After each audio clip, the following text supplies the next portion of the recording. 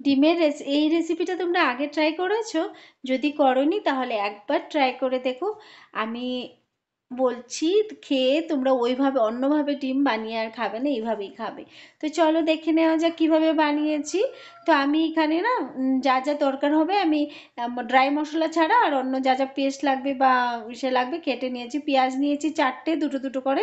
আর ধনেপাতা নিয়েছি, কুচি করে কেটে নিয়েছি। টমেটো পেস্ট নিয়েছি, আদা রসুন পেস্ট নিয়েছি। আর এখন একটা বাটিতে চারটে ডিম আমি ফাটিয়ে নিয়ে নিয়েছি। তারপর দিয়ে দিলাম কুচি করা পেঁয়াজ। এখানে দুটো পেঁয়াজ দিয়েছি চারটে ডিমের জন্য। তোমরা তোমাদের চয়েস হিসাবে যে যেমন ভালোবাসে ওইভাবে দেবে। দিয়ে দিলাম ধনেপাতা কুচি, তারপর দিলাম স্বাদ অনুসার সল্ট নুনটা দিয়ে দিয়েছি, তারপরে দিলাম হলুদ গুঁড়ো।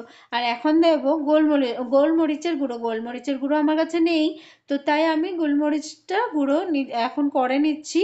আর ধনে পাতাটাও তোমরা স্কিপ করতে পারো যারা ডিমের গন্ধটা ভালোবাসো কিন্তু আমি ডিমের ডিমের গন্ধটা এতটা ভালোবাসি না, তো তাই আমি কি করি মানে কি জিনিসটা দিলে যেন ডিমের গন্ধটা না পাই, তার জন্য ধনে পাতা দিই, গরম মশলা দিই, এগুলো দিয়ে ইসে করে। তো গোলমরিচের গুঁড়োটা দিয়ে দিয়েছি, দিয়ে ভালো করে ডিমটাকে ফাটিয়ে নিয়েছি। ডিমগুলো, ডিমগুলোকে, ডিমটাকে মানে হলে তো একটাই হবে, আমি চারটে ডিম দিয়েছি যেহেতু ডিমগুলো হবে।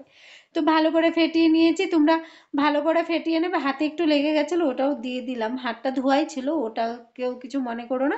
আর এখানে এখন গ্যাসটা অন করে আমি ওটাতে পড্ডু পেনটা নিয়ে নিচ্ছি। পড্ডু পেনই, ভাবছ পড্ডু পেন দিয়ে কী করব? আজকে পড্ডু পেনে, পেনের মধ্যেই করব আজকে এক কারিটা। আর এইভাবে না খুব ভালো লাগে। আর ডিমও কম লাগে। তো দিয়ে দিলাম পড্ডু প্যানটা গরম হওয়ার পর দিয়ে দিলাম ওটার মধ্যে তেল। তেল দেওয়ার পর দিয়ে দিচ্ছি ডিম মানে যেটা আমি ফেটিয়ে রেখেছি সেটা একটা ছোট্ট স্পুন বা হাতা বলো যাই বলো, সেটা সহায়ে মানে সহযোগে আমি নিয়ে একটু একটু করে সব করা এসে পড্ডু প্যানটার মধ্যে দিয়ে দিচ্ছি। আর একটু সময় ঢেকে দেবো যেন ওটা ভালো করে ফ্লপি হয়ে যায় আর ভিতরটাও কাঁচা না থাকে। তো হয়ে গেছে, এক সাইড হয়ে গেছে এখন, এটাকে আমি পাল্টি করে দেবো। তো তার জন্য দেখো একটু একটু ইসে হয়ে গেছে। তার জন্য এটা ভীষণ ফ্লপি হয়েছিল। তো এভাবেই করে আমি এপিট ওপিট করে দুপিটে ভালো করে এসে করে ভেজে নিয়েছি। দেখো একটা রাউন্ড বলের আকৃতির হয়ে গেছে। পড্ডু পড্ডু যেহেতু পড্ডু পেনে বানিয়েছি, তো পড্ডুর মতোই হবে। দেখতে পড্ডুর মতোই হয়েছে, এভাবেও খেতে পারো।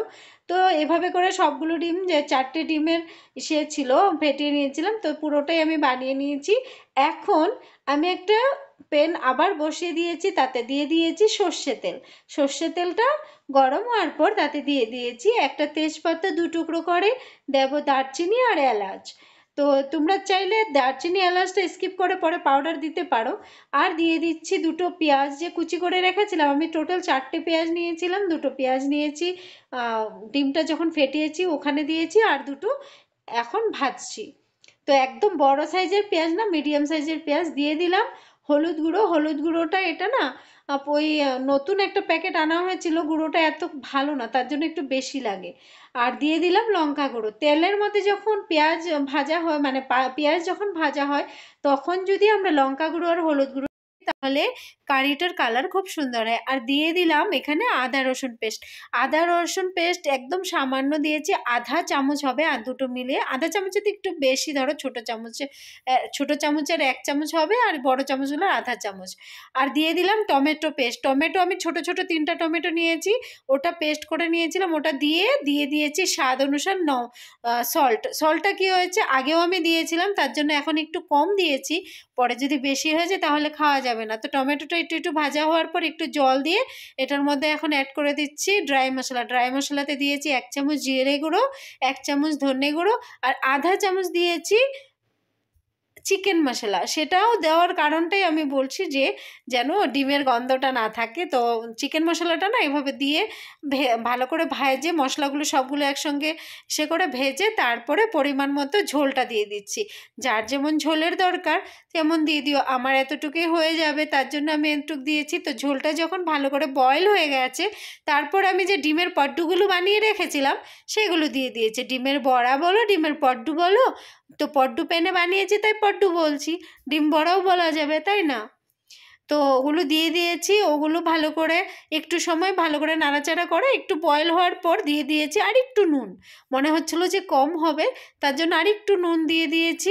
তারপর দিয়ে দিচ্ছি গরম মশলা একটু। আমি বারবার বলছি যে আমি ডিমের গন্ধটা যাওয়ার জন্য যা যা দেওয়ার দিচ্ছি, তো গরম মশলা একটু দিয়ে আমি লাস্টে একটু ধনে পাতাও দেবো। সেটা কোনো টেস্টের জন্য না মানে দেখতেও সুন্দর লাগবে, আর একটু একটু গন্ধ থাকবে তাই। তো গরম, যারা ধন্যবাদ ভালোবাসো না ডিমে, তো দিও না। গরম মশলাই হয়ে যায়, তো গরম মশলাটা দেওয়ার পর একটু সময় ঢেকে দিয়েছিলাম, তো এটা হয়ে গেছে পুরোপুরি। তারপর দিয়ে দিয়েছি কুচি করে রাখা ধনে পাতা। তো এখন আমার এই কারিটা পুরোপুরি রেডি হয়ে গেছে। তোমাদের কাছে কেমন লাগল জানিও। যদি ভালো লেগে থাকে তবে লাইক, শেয়ার আর সাবস্ক্রাইব করতে ভুলো না। তো আর এভাবে একবার ট্রাই করে দেখো। খুব খুব খুব খুব ভালো লাগে। তো চলো, আজকের জন্য এতটুকুই। আবার দেখা হবে কোনো একটা নতুন ভিডিওতে। তো ভালো থেকো, সুস্থ থেকো সবাই, আর সবাই সবার পাশে থেকো। কেউ এইভাবে ভিডিও দেখো না যেন কারোর হেল্প না হয়। যদি কারোর ভিডিও দেখছ, তো এটা লাইক আর শেয়ার করতে তো আর টাকার দরকার হয় না। তো প্লিজ করে দিও। তো আজকের জন্য টাটা বাবা